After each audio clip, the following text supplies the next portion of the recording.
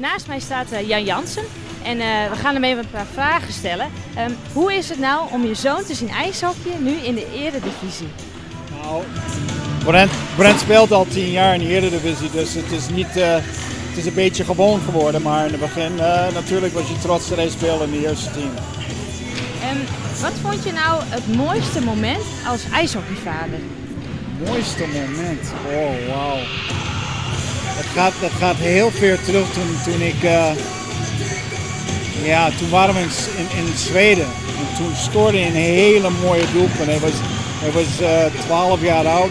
En wij speelden tegen een hele goede teams, jeugdteams in Zweden.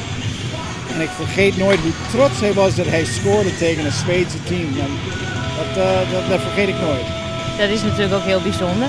Ehm, wat is nou spannender? Eh, een ijshockeywedstrijd kijken van je zoon of zelf ijshockey spelen? Ik word meer zenuwachtig kijken naar mijn zoon dan, dan zelf spelen. Zeker. Ja, hè? Ja, het is. Ik, ik, ik raak het nou aan gewend, maar in het begin was ik ontzettend zenuwachtig.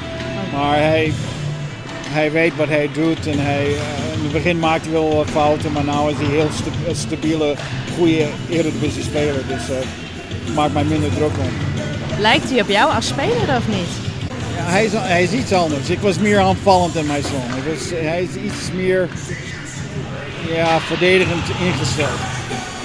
Ik denk meer aan, aan, aan, eh, aan, aan geen doelpunt tegen dan een doelpunt maken. En ik dacht altijd aan het doelpunt maken. Ja, dat is ook wel verschil. ook een goede instelling. Ja. oké. Heel erg bedankt voor het interview. Ja, en ik mooi. wens je nog een hele fijne avond. Dank je. Dankjewel.